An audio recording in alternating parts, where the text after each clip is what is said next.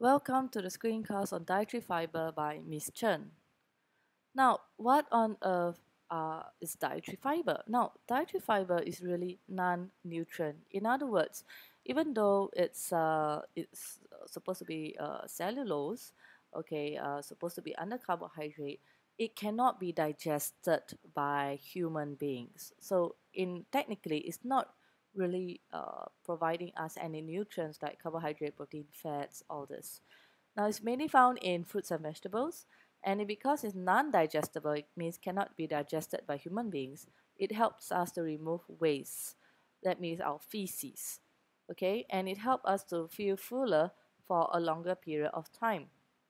Now, some examples here, like uh, navy uh, navy bean, split peas, lentils, chickpeas, bran flax, whole wheat, you can see there's quite a number of fiber in just grams in just this amount. So one cup, all right, like one cup navy bean, 19.1 gram of fiber. Uh, whole wheat, you get 6.3 gram of fiber. Okay, and recommended daily value are 30 grams of fiber a day. Now, how the, does dietary fiber remove waste? Now, I want you to imagine Alright, we're watching a short video of how digestion goes, by the way. Uh, is that dietary fiber will absorb water. So let's take, uh, let's pretend that this is, well, your dietary fiber and it's come to a point of being a stool or feces in your body. So what happens is that when water is added, water is added, it will start to increase in bulk or size. So this is how it helps to remove waste to prevent constipation. It needs water to form your dietary fiber in order to help remove our waste that's collected from the body and placed inside here and to remove it. Now, constipation. What on earth is constipation? Now, if you have constipation, now this is a Bristol stool, Bristol chart. In other words, um, this is really your stool or your poo actually. Now what happens is that um, if you're having constipation, most likely your feces will be like this. Separate hard lumps like nuts. Okay, that means you have to use quite a lot of strength just to pass one bit out, one bit out, one bit out. Okay, so depending on the amount of water, your most likely type 4 and uh, maybe type 5 or this this will be your better ones okay where um let me see, your feces had enough water to to be passed out easily all right this is still a bit hard all right and this is when you have diarrhea. Diarrhea. That means it's totally watered. You, if you have very severe diarrhea you might have dehydration. Now where can we get fiber? We have soluble fiber. Soluble fiber means it helps to lower our blood, um, our uh, cholesterol level. So it helps to reduce rates of heart diseases and all this, and hypertension. And insoluble fiber, which is where it prevents, help to pass out our feces. So insoluble fiber belongs to the part where we talk about uh, helping us to prevent constipation. So as you can see, soluble fiber comes from fruits such as apples, pears, okay, some beans, and insoluble fiber will come from carrots, uh, pepper, tomatoes, uh, cucumber, and potatoes. So this has cellulose. All right, cellulose actually uh, helps to contribute to this indigestibility.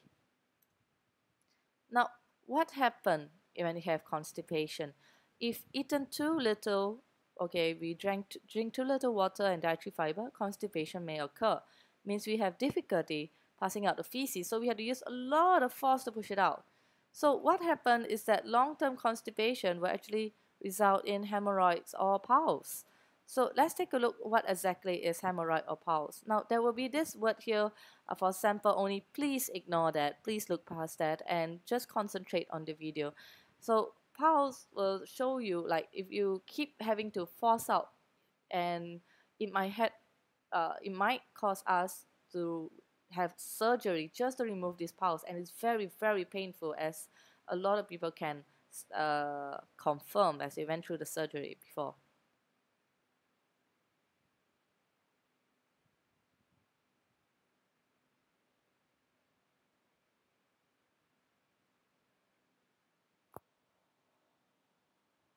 Your doctor may recommend a hemorrhoidectomy to remove your hemorrhoids if they do not respond to more conservative treatment.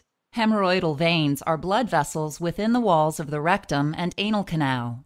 Hemorrhoids, also known as piles, occur when these veins become swollen and the tissue around them becomes inflamed. A swollen vein near the opening of the anal canal is called an external hemorrhoid. A swollen vein within the rectum is called an internal hemorrhoid. Internal hemorrhoids are classified by how advanced they are.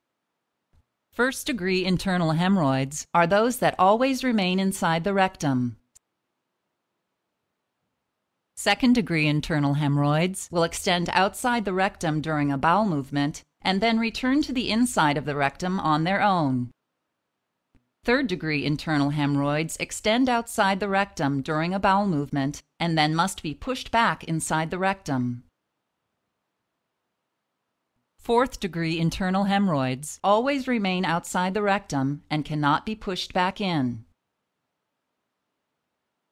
Before a hemorrhoidectomy, you may be given local or general anesthesia. For general anesthesia, you will be given medications to put you to sleep through a breathing mask or through an IV line. A breathing tube will be inserted through your mouth and into your windpipe to help you breathe during the operation.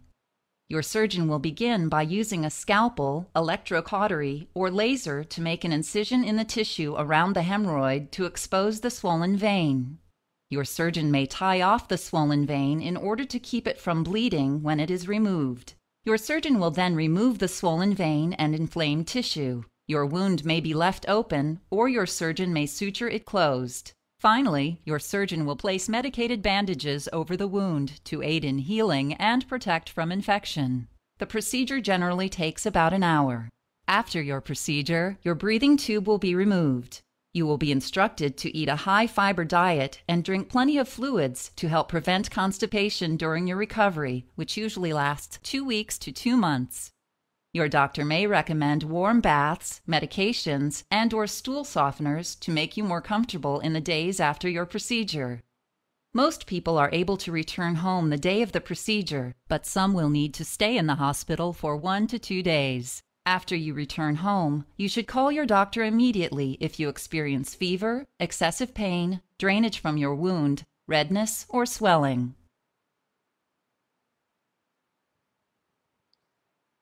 Now, where can we get dietary fiber?